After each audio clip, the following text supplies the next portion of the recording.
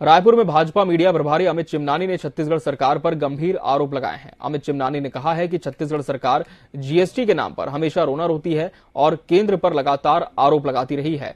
पर मौजूदा आंकड़ों में राज्य स्टेट जीएसटी में पिछले साल की तुलना में इस साल ज़्यादा कमाई हुई है। उन्होंने कहा कि साल 2023 में राज्य ने ग्यारह करोड़ की राशि अर्जित की है, जबकि साल 2022 में नौ हज़ार चार सौ तिरासी करोड़ राजस्व अर्जित किया था।